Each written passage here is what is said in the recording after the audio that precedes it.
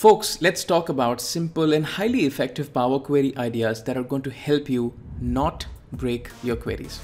No further ado, let's do this together. I'm sure you already know that that Power Query is case sensitive. So how do you make Power Query case insensitive? Whenever you're trying to apply filters or search for a value, if you do not provide the value in the same case as it is there in the data, you're not going to get appropriate results. Take a look. So let's just say that I have this customer column and I'm trying to apply a filter on, let's say, a good fly customer. So customer name, text filters, and I'm trying to search, let's say, which customer contains the word good fly, not goodly, but good fly. Now, as soon as I press on OK, you can see that the table returns a blank. But if I just go to the previous step right here, I am going to see that there is a good fly customer, but I haven't been able to get to that result. Why is that? Because the good fly that I type in the formula bar has the fly as F uppercase and not a lowercase. So how do I make this as case insensitive? In a lot of functions in Power Query, you're going to get this optional input parameter where you can declare case insensitivity. And one such function is text.contain. So what am I going to do? I'm going to say, hey, text.contains, go in the customer column, which is this column, and please search for the word good fly. It's going to by default maintain the case sensitivity. But here is where I can just put a comma and as the last input I can say please um, have the case ignored.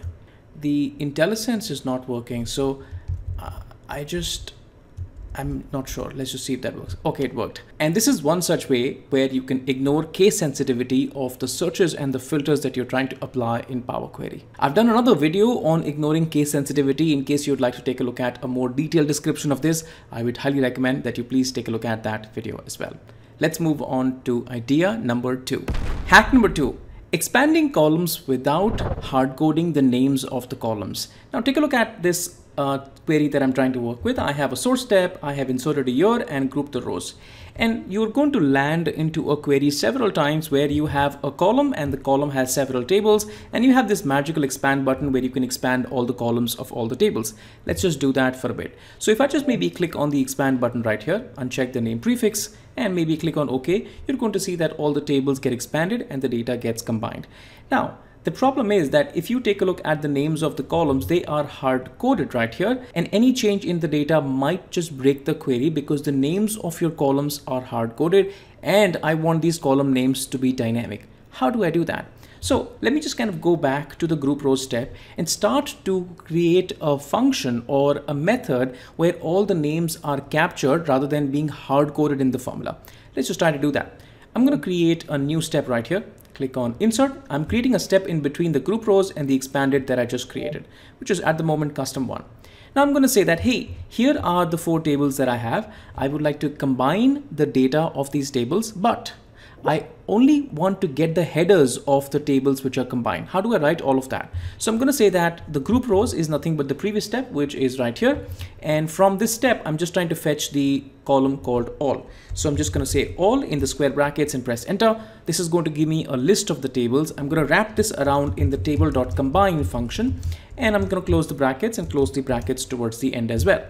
Now this literally combines the tables. I don't really want to combine the tables. I want to fetch the names of the columns. So I can say that, hey, after you've combined the tables, however, I'm not interested in the combined data. I am interested in table.column names of the tables which have been combined close the bracket and press enter and what you're going to get is nothing but the list of the columns which are there in all the four tables. Now I can rename this as column list. What I'm going to do is I'm going to go ahead and feed this particular list in my expanded all function. So what I can say is that hey table dot expand table column which table are you trying to expand? So I'm not trying to expand the column list table. I am trying to expand the group rows table. That's the table which I want to expand. So I'm going to say, hey, uh, this is going to be grouped rows. In group rows, the columns that I'm trying to expand is the all column, which contain the four tables.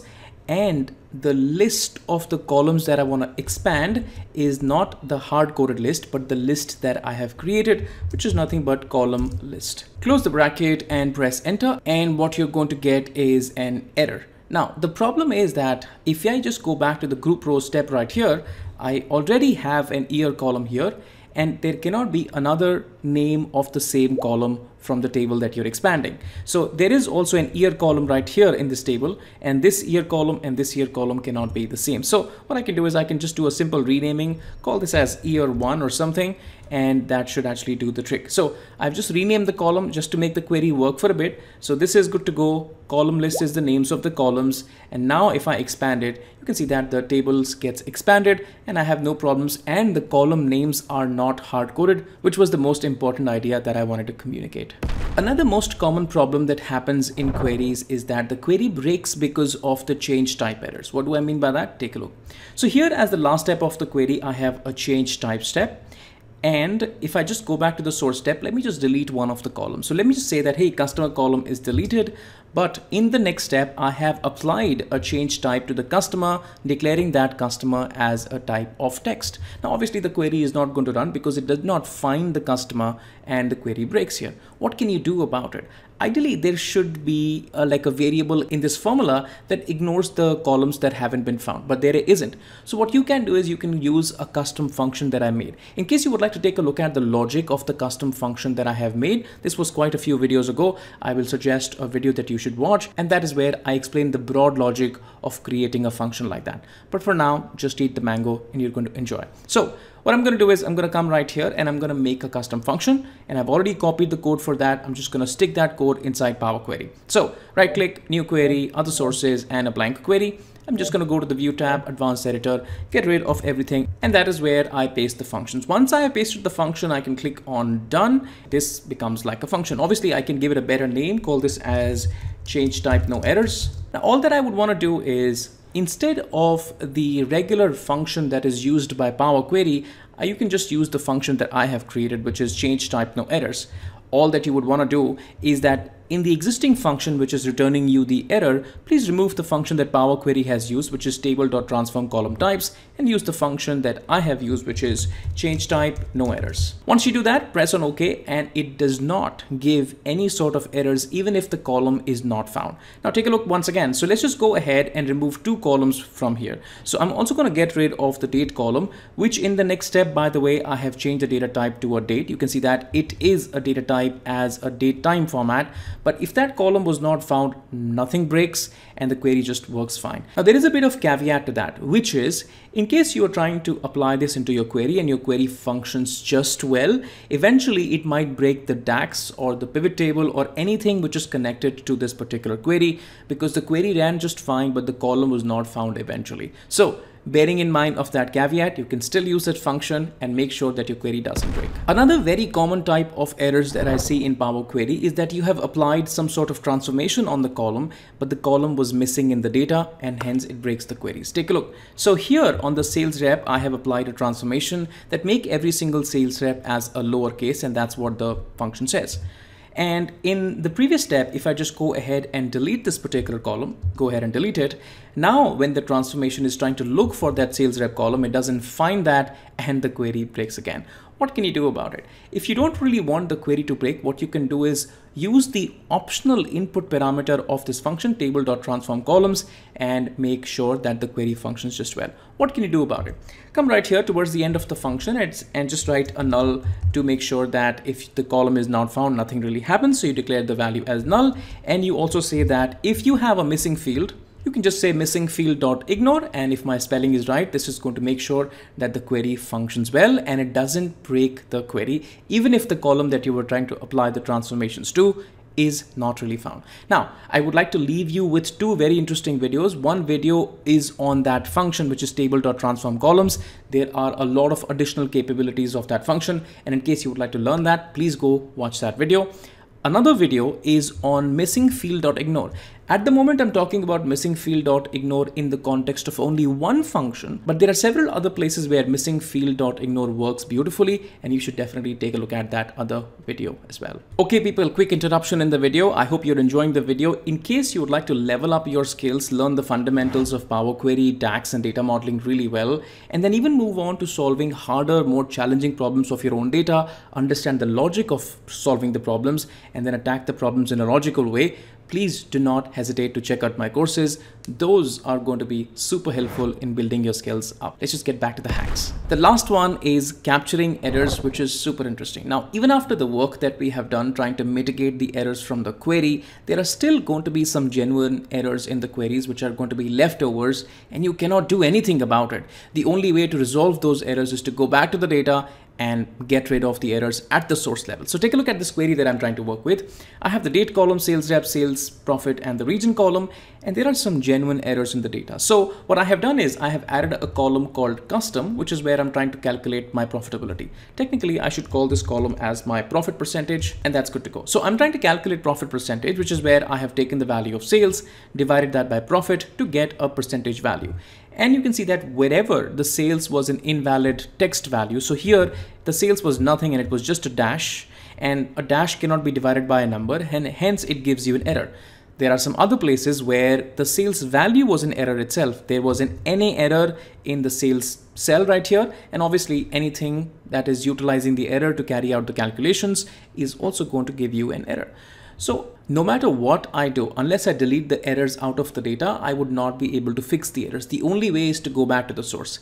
It's very essential for me in this scenario to capture the errors and give it out to the person who's responsible for the data. But how do I do that? Let's just take a look. So here what I have done is I have right clicked on this particular query and I said that I want to reference this query. Once I reference the query, this is the query that I have created, which is query with errors. Let's just take a look at the first step of the query, which is the last step of the query where I have referenced it from. Now, what I do after that is that I create an index column. I'm sure you know how to do that. So I can go over to the add columns tab, index column and create a column from one. And that's the column that I get. Once I create the index column, the next thing that I do is I select the index column and I unpivot all the other columns which brings the data in this particular format. So I have the index column right here. I have the attribute. The attribute is technically the name of the column. I should have renamed that, but for now it's okay. So attribute is the name of the column and value is the value of that column. What I'm going to do now is that click on that column, go to the transform tab, sorry, in the home tab, and I'll say, please keep the rows and keep the rows with errors. If I do that, I'm going to be left with only the columns and the values which contain the error. Now at the moment, if I load this query into Power BI or into Excel, this is not going to help the user to understand that what errors did you get. So I have to write a formula or a function or something in Power Query that expands on these errors and captures what these errors are so that these errors can be rectified. If I just go ahead and take a look at the custom column formula that I have done, let's just take a look. So here is the formula that I have written which is where I'm just using some try keyword. Let's just write this formula once again. So I'm just gonna maybe go ahead and I'm gonna say something like try and say, something like value. What is value? Value is nothing but this particular column. I'm gonna click on OK and what I get is a record. If I peek into the record, what you're going to see is that the, every single record contains two different columns. It has an error column and it has the has error column and the error column. In case the error was found, this is going to be true and the details of the error are in the record column. Let's expand on this so that you will get more visual understanding. So if I just click right here and expand on this, both of these columns, click on OK and click on insert, this gets expanded. And if I maybe peek into the error column right here, that is where I can find what the error was. And you can see that here is where I can take a look at the reason of the error. I can take a look at the detail of the error, the message of the error, whatnot and whatnot. So let's just say that I want to give the user the reason as to why did you get the error. So from here, I have to get to here and from here, I have to get to the reason of the error. And if you take a look at the transition that we have to make, it's going to be something like this. From the try statement that we have just written, we are going to get to the error column. From the error record right here, I'm going to get to the reason column. How do we do all of that kind of stuff? Please take a look. So I'm going to get rid of the expanded column right here, delete that. I'm going to go back to the added custom step and that is where I'm going to say that this little try and the value gives me a record. In the record, we just saw that we had a column called error. Let's just close the bracket and press enter. Let's just see what we get. Once I click on OK, I again get a record, but in that record, we have another column called reason, which is the value that I want to pull out. So I'm going to go back right here and I'm going to say, hey, from this, I would want to pull up another column called reason and I can just close the square bracket and click on OK. And that is the reason of the error that why did you get the error? In case you do not really want to show the reason, you want to show the message of the error, you can also go ahead and maybe click on the message which is nothing but the column and I can just say that instead of extracting the reason I want to extract the message and that is the message extracted. Now what I have been able to do if I maybe go take a look at the preview of this particular error message, you're going to see that this is the exact message that I was able to take a look at only in the Power Query environment that I have been able to extract right here using this little trick right here. Okay, now good enough. I can just get rid of the errors itself, which is gone. And this is the table that I will load into my Excel, into my Power BI and give the user the experience of figuring out what the error was, how the errors can be resolved. And what do I have? I have the row number that contained the error. I have the column that contained the error and what exactly was the error. This is bananas. Alright, that's been it. Let me know how did you find this one. Did you enjoy working with the techniques to resolve the errors in Power Query? And in case if you did, please do let me know which trick did you find the most interesting. Please comment below. If you have any questions, please comment below and I'll be glad to reply. In the end, I'd like to give again a big shout out about my DAX and my Power Query training courses. You're a beginner, you'd like to master the fundamentals, get on speed and start to solve hard problems of your own data. I'd highly encourage that you take a look at my courses. It's going to be super awesome. Thanks so much for sticking all around once again, and I will catch you guys in the next one. Bye now.